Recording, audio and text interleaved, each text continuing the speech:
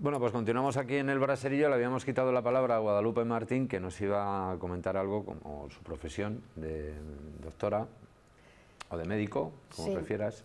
Se puede. No soy doctora porque no leí la tesis. Ah. ¿Mm? Eh, soy médico de profesión, médica en este caso, y, encantada de, de, serlo con mucho esfuerzo. Estaba haciendo referencia a las desigualdades que se dan en el trabajo que supone cobrar menos a igualdad de trabajo, salvo en un trabajo público, pero sigue habiendo desigualdades, lógicamente, luego a efectos de pensión y sigue habiendo desigualdades pues, en el paro. Hay muchísimas mujeres, más, hay más, mujeres paradas, pero sobre todo las grandes desigualdades donde se dan es en la pobreza. Se siguen dando muchas, muchas desigualdades en ese eh, juego de roles en el que inconscientemente entramos todos como, sociedad y en la que asignamos determinados estudios a nuestros hijos y a nuestras hijas, porque todavía se sigue dando la circunstancia de que haya muchas menos chicas estudiando, por ejemplo, ingenierías.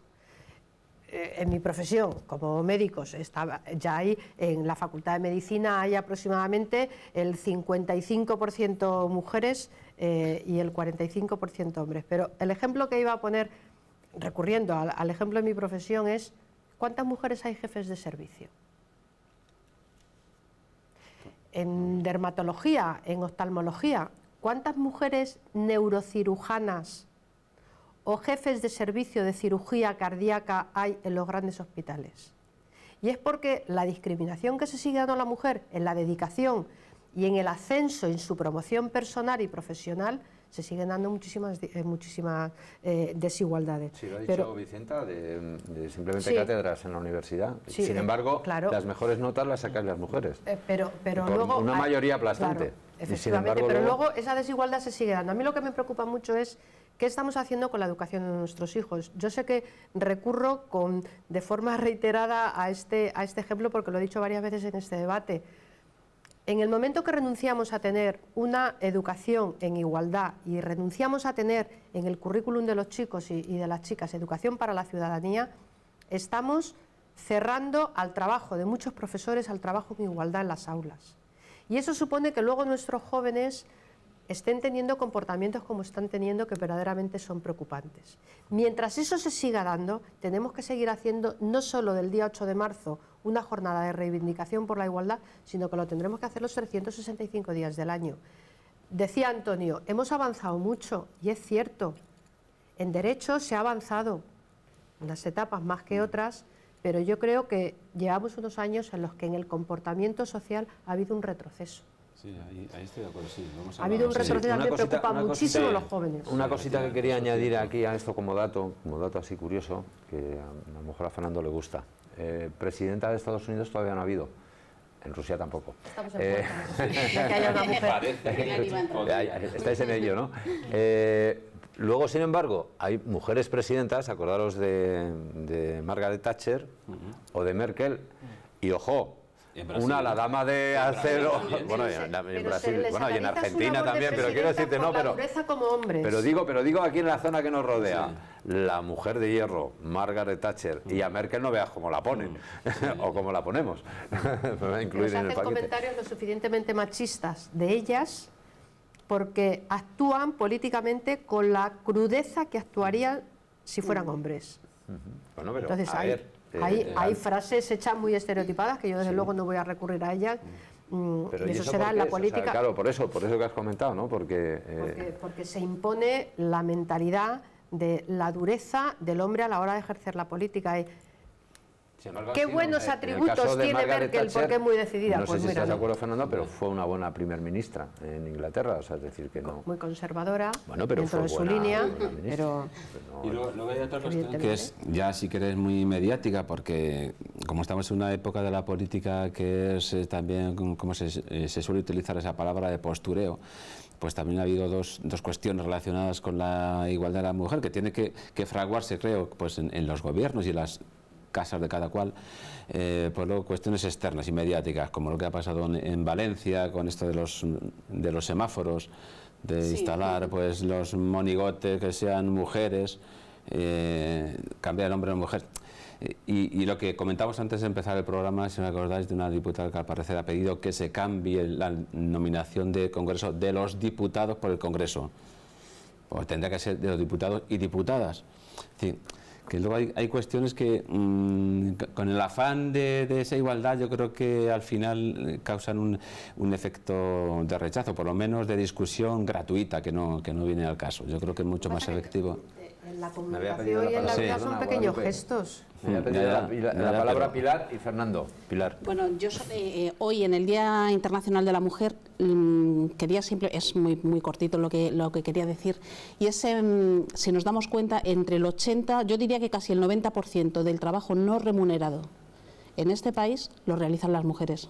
Lo digo a colación de lo que habías comentado, Fernando, que tú has eh, asumido el cuidado y atención de, de tu madre o pues ese, ese trabajo, el 80 o el 90% de las mujeres en España, eh, que es trabajo no remunerado, lo, realizan las mujeres. Y hoy es un día, por ejemplo, para, para considerarlo, para tenerlas en consideración.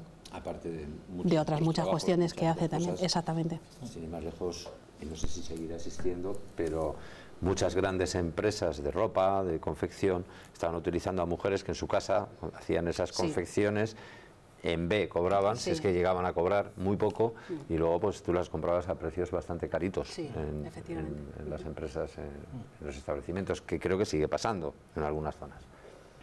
Si no aquí en España, en Marruecos seguro. Seguramente el trabajo sumergido mm. está mayoritariamente sumergido por, mujeres.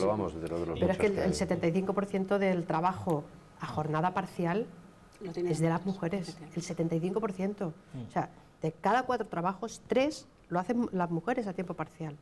Y eso es muy grave, que todavía siga ocurriendo eso. Fernando La Puntilla, que nos vamos a hablar de otras bases. Pues eso, pues decir que efectivamente se han producido avances, sí, pero yo creo que estoy con Guadalupe en decir que ahora mismo estamos en una situación en la que o el avance se ha parado o incluso hemos ido, vamos, marcha atrás, ¿no? ¿Mm? Y eso pues tiene que ver pues con muchas de las leyes que que hay actualmente, ¿no? Por ejemplo, la reforma laboral es una reforma que penaliza sobre todo a los más débiles y en este caso pues penaliza más a las mujeres y a los jóvenes que al resto de la gente. Eh, y, eso, y eso es lo que hay. Está claro que las mujeres tienen alma ahora, que no la tenían en la Edad Media, y que eso es un avance, y que en los años 70 soberano era cosa de hombres, ¿no? Y, pero eso no quiere decir que no haya que seguir forzando para que la situación eh, pues avance de verdad y vayamos hacia esa, eh, esa sociedad más igualitaria, una sociedad que esté más basada en la cooperación y menos en la competencia, que será una sociedad más justa y una sociedad en la que podamos vivir mucho mejor. Y bueno, pues ¿Cuántas diputadas hay actualmente? ¿Sabes el número? Ahora es, es, la legislatura en la que más presencia de mujeres, de mujeres mm. hay. Pero eso no significa que en mm. todos los escalones de la política ocurra lo mismo. Mm. ¿eh? El Partido Socialista tiene un compromiso público de, eh, y está en nuestros estatutos de que las listas sean paritarias y cremallera. Mm. Porque lo de las listas paritarias, si nos limitamos a eso y no son cremallera, también tiene sus trampas. Cuidado, pones arriba, pones abajo y ya está. Que hay algunos partidos que quieren bajar los sueldos de los diputados, a ver si ahora que hay más mujeres lo bajan. Que no hagan eso. Eh, hombre, yo protestaré, yo protestaré en, el, en, el en, el, momento en el que se considere que tiene que ganar eh, menos una mujer que un hombre, como ocurre en la vida. mujeres en el Congreso que bajen los sueldos. Venga. Te advierto que en contra de los muchos comentarios que corren por ahí por internet, nosotros llevamos varios años con los sueldos, más que congelados y, y eso no corre por internet. Eso no, ¿verdad? Eso no. Se corre lo malo, lo bueno, lo bueno por Y algunas cosas corren que son muchas mentiras. bueno, el agua. Vaya por Dios, la que se ha liado. Dos trasvases de 20 hectómetros cúbicos de aquí a, mayo, creo que es. Tres. Son tres. Son ah, tres, tres, trasvases con las cabeceras. 60 en total, ¿no? 60, que sí. ¿Hay agua? Pregunto yo, para trasvasar o está hecho eso calculado según las previsiones meteorológicas de nuestros hábiles meteorólogos que dan aciertan una de cada diez. las, comisiones se reúnen de, forma regular, pero, pero es que a mí... tenéis un despliegue informativo, además, a doble página sobre totalmente, el, trasvase. Mm, eh, es que seguimos... A mí lo que me llama la atención es que la doble página de hoy podría ser perfectamente la doble página de hace 25 años, que por cierto estamos cumpliendo 25 años en vez de Toledo, ya aprovecho para decirlo, y lo iremos contando todo, todos los domingos, ¿no? Enhorabuena. Sí, sí, a veces Toledo, sí. 8 de marzo. No, no, no, ah, durante ah, este año cumplimos, ¿no? Y, bueno, y como te digo, la doble página de hoy es trasladable a muchos años atrás y es lo, a mí lo que más me preocupa, ¿no? Esta política hidrológica que, de la que estamos tan necesitados, no sé cuándo, cuándo va a llegar. Y, yo, y mi pregunta es la, es la siguiente, ¿no? Al margen del, hecho concreto de que se ha producido esta semana, ¿no? Y que, y que tendrá sus consecuencias y ha producido sus reacciones, es eh, el nuevo gobierno ¿Cuál va a ser la política hidrológica? Es que esto, si no se aborda desde un prisma eh, general, eh, no vamos a ningún sitio. Eh, en un asunto como este del agua, que es una, pues un, bien escaso, aunque en unos sitios está más escaso que, en otros, si no se aborda de, una manera general, pues vamos a estar siempre en la llamada guerra del agua, porque claro, incluso pienso en los mismos partidos partido, y ya, ya en el caso de un partido nuevo como, como es Podemos, eh, ¿qué piensan los de Compromís de, de Valencia y Podemos de Castilla-La Mancha respecto a nuestras bases? ¿O Podemos de, de Murcia? Es decir, eh, yo creo que eh, son preguntas que, que, habría que hacerlas, están recién llegados, pero el, no han abordado todavía el, el, asunto del agua y yo creo que es, insisto, una cuestión de índole de política nacional. Eh, porque mientras sigamos sin tener ese, esa política nacional del agua, vamos a estar siempre con las confrontaciones entre las comunidades autónomas. Desde Murcia y el Levante serían reclamando que según las actuales leyes pues les asiste el derecho y desde aquí diremos, pero no lo ven ustedes que, cómo están los pantanos. Secos fíjate. Entonces, pero es que es una es una discusión bizantina, es una discusión bizantina que no que nos están poniendo. Que no sé si son de ahora o todavía ahora y menos. Mm, esta discusión bizantina Eso cuando había agua porque hay barcos. Sí, sí. Exactamente. Bajo barquitas. Eso era el mar de Castilla. Guadalupe. Sí, yo creo que, que esta decisión tomada por un gobierno en funciones de la autorización de tres trasvases de 20 hectómetros cúbicos en, tres meses seguidos, yo creo que es una decisión claramente vengativa con los ciudadanos de Castilla-La Mancha. No puede tener otra, otra lectura. Nosotros siempre hemos defendido que agua para consumo sí, pero ahora mismo hay más agua en los reservorios del, del, trasvase, en los reservorios de la Comunidad Valenciana y de Murcia, más que en los, en los embalses de cabecera del Tajo. Entonces, yo creo que si los, los pantanos están como están y nos estáis poniendo eh, eh, imágenes de cómo están, que ahora parece que están peor todavía, y que empieza a haber peligro en el abastecimiento de agua en los próximos meses eh, para los ciudadanos de Castilla-La Mancha, a mí me parece entrar en una fase de desafío absoluto hacia los ciudadanos. Yo creo que para nosotros la situación es totalmente insostenible.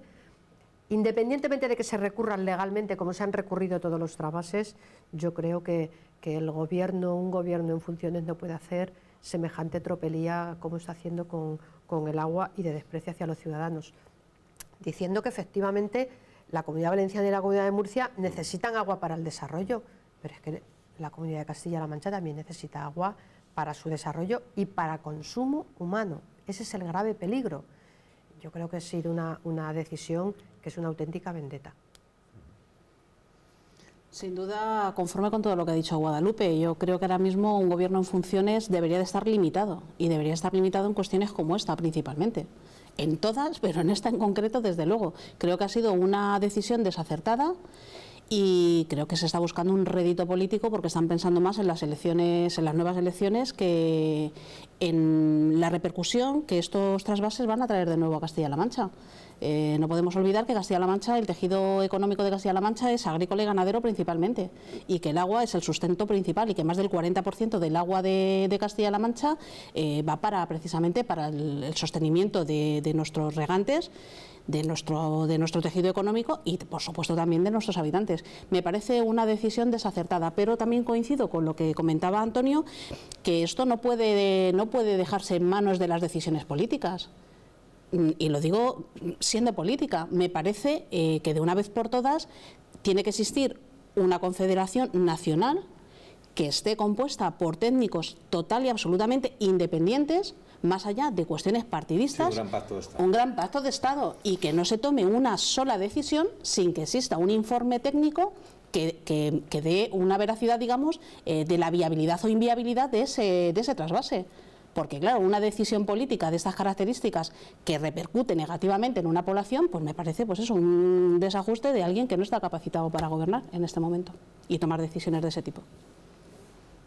Bueno, pues eh, eh, parece que es un tema en el que estamos todos bastante de acuerdo, ¿no?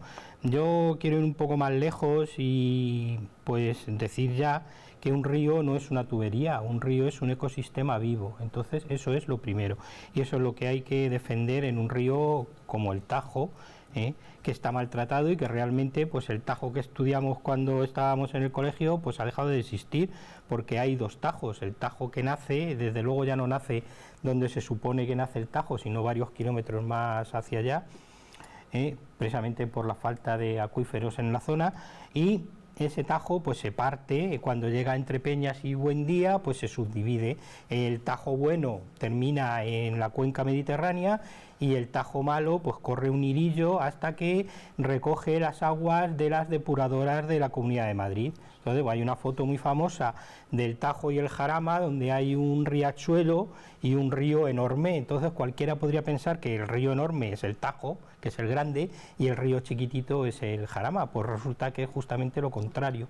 El río Jarama es enorme a la altura del puente de la carretera de Andalucía porque recoge todas las depuradoras de los 6 millones de habitantes que viven en Madrid y el río Tajo pues es un hilillo de agua bochornosa que atraviesa pues Aranjuez, que llega a Toledo, a Talavera y que a través de la provincia de Toledo pues se puede traspasar el Tajo porque no te llega ni a la altura de las rodillas en muchos momentos del año y eso sencillamente es vergonzoso y eso es imposible de seguir manteniéndolo. Entonces la cuenca del Mediterráneo tendrá que empezar a plantearse que el trasvase Tajo Segura no es una opción de futuro. Entonces, pues no, no sabemos lo que cuesta una desaladora, porque ahí hace unos días eh, hablamos aquí de esa empresa valenciana que tenía que eso, entonces no sabemos lo que cuesta el agua desalada, no sabemos si eh, se, se... se puede desalar. Hombre, desalar, se puede porque Hoy venía en El Economista una noticia que una de las empresas, me parece que era SACIR, pero no estoy muy seguro, Dragados, una de estas constructoras, había ganado un concurso en Qatar por una desaladora por valor de mil millones de euros. Luego está clarísimo que desalar se puede, ¿no? Y si Israel tiene agua, pues Murcia puede tenerla también. pero ¿no? aquí coste, el tema es que ¿Eh? aquí tienen claro, petróleo para pagarlo. El coste es lo que hay, eso es, ¿eh? el coste... Mil, millones hacerla claro, para mantenerla. Pero ah, claro, pero el coste de lo que vale desalar en España lo ignoramos, porque todo está lleno de sobrecoste, entonces ignoramos cuál es el coste económico. Mm. Lo que sí sabemos cuál es el coste social y el coste ecológico del trasvase Tajo Segura. Y en cuanto a lo de las mm, visiones de Podemos o de la izquierda sobre mm. este asunto, pues bueno, aparte de dejar de compromiso es un partido valenciano y valencianista y yo creo que sí que debería hacérselo mirar, ¿no? Esa postura. Eh, sí que, por ejemplo, hay actualmente dos diputados en el Congreso, uno es Juan Churalde, el líder de ECU, diputado por Álava, y miembro de eh, por la lista de Podemos, y otro es una eminencia en la materia de agua que se llama Pedro Arrojo, que es diputado por Zaragoza que es miembro de, impulsor de la, nueva cultura del agua. Claro, eso es, y es un antitrabasista total. Entonces, y es una persona muy entendida sobre estos temas, una eminencia a nivel internacional, y yo creo que eso recoge claramente cuál debería ser la posición de los partidos Podemos, Izquierda Unida, En Marea, en fin, todo ese abanico de izquierdosos que pululan por el Congreso. pero el problema seguirá existiendo, ¿no? el problema seguirá existiendo. Claro, pero el problema, pero el problema no es lo natural que de Castilla-La Mancha reivindiquemos... Eh, no, pero es que el problema no es trasvasar mm. agua de la España seca a la mm. España seca. El problema es mm. eh, que el modelo de la cuenca mediterránea basado en ese uso intensivo del agua no tiene futuro. O sea, si uno va a ¿Sabes un... que el Ebro estaba bajando estos días si a uno tope, va, ¿no? Si uno Por va, sí, ejemplo. pero, eh, Ya, ya, pero, sí, eh, pero, Pero habrá que abordar en algún momento este problema. Sí, a nivel, pero los- si somos los- un país, o sea, no somos... Pero el Tajo- pero Por eso, por eso, y aprueban por el eso he citado, del Tajo. por eso he citado al Ebro, que, Bueno, que pero- bajaba desbordando Es- los es- términos municipales. Es insufrible como toledanos, Mm, es insufrible ver cómo pasa el Tajo. Que sí, que sí. Y si pasa mm, de forma patética por Toledo, eh, los que además somos de Talavera, que nos hemos bañado tantas veces en el Tajo, en, Escucha, en- en- Guadalupe, que es que aquí hablamos siempre del Tajo Segura, ¿cómo pasa el Tajo pero, por Talavera? pero por favor? escucha, que es que a mí me hace mucha gracia lo del trasvase Tajo Segura. Es decir, eh, fastidia el Tajo y fastidia el Júcar. Porque si vemos realmente lo que se trasvasa, yo no sé lo que sale de la cabecera del Tajo, porque no sé si han hecho estudios o no, pero me imagino que estarán y que habrá un contador que cuente el agua que sale del Tajo y que sale de entre Peñas y Buendía y luego desembocan al Arcón y después se llevan de Alarcón, porque claro, Pero es decir, si vemos, mínimos que se viven- si vemos, que se- ya, ya, pero que se si, miden. si- si vemos cómo está eh, la cuenca del Júcar y vemos cómo está la cuenca del Tajo, una en, en Alarcón, en el pantano de Alarcón, y otra en Buendía, que es en la zona de ahí, es que están bajo mínimos continuamente. Yo no sé cuál es el agua que se trasvasa, pero dices, bueno, si solo trasvasamos del Tajo, ¿por qué afecta a la cuenca del Júcar también? Es decir, y resulta que la cuenca del Júcar está bajo mínimos y la cuenca del Tajo también. Y todo esa agua se va para Murcia. Porque están comunicadas esas dos cuencas por el trasvase peligro completamente la cuenca ecológica. Claro, El, decir, mínimo es que no vital de solo un es- río se No pone... solo es el Tajo, es que si hay- analizamos cómo hay está el medidores de, de caudal y hay una serie de compromisos que si se recurre cada uno de los trasvases es porque se está incumpliendo los caudales mínimos. La situación, las fotografías que vemos, las imágenes que, que estáis ahora mismo poniendo de, de fondo, mm, para nosotros es completamente insoportable esa situación de ver cómo se desliza el agua por el por, por los conductos de- del trasvase y ver las imágenes de cómo está el agua por al- a la altura de los tobillos y de, la, solo. y de las rodillas eh, en Talavera, porque esas imágenes son como llevan sin arreglar el trasvase, ni se sabe, el agua que se pierde por el trasvase también tela. Bastante. Bueno, eh, hemos llegado al final del programa. Antonio González Jerez, muchísimas gracias. Nada, vosotros. Felicidades por ese 25 aniversario. Muchas gracias. Pero es el 25 Los aniversario de la ABC Toledo, o. Exactamente, sí, el periódico tiene 116 años Por de historia, digo, o sea que... digo yo, que joven se me ha vuelto de repente. ¿Cuándo es la celebración Efectivamente. anda que no se quita años el en la año, ABC. Guadalupe, sí, no vamos a- Guadalupe, digo, anda que no se quita años en la ABC, solo 25. Digo, pues nada. No, no, no. Muchas gracias, Pilar Barroso, Muchas gracias a vosotros. y espero tenerte otra vez pronto Cuando por aquí por el quieras. Braserillo. Fernando Amo, como siempre, muchas gracias. Buenas gracias y hasta la próxima. Y Guadalupe Martín, muchas gracias, buenas noches. Muchas gracias a vosotros. Nosotros nos vamos, volvemos la semana que viene, el próximo 15 ya de marzo, estaremos de nuevo aquí eh, en el Braserillo con otros temas, con temas de actualidad, con lo que vaya sucediendo desde ahora y hasta que llegue ese momento. Como siempre, miraremos eh, cuáles son los temas que más interesan o por lo menos que consideramos que más polémica puedan tener para planteárselo a nuestros contertulios. Eh, volvemos, les esperamos la semana que viene y como siempre, sean lo más felices que puedan. Buena semana. Hasta, hasta entonces, adiós.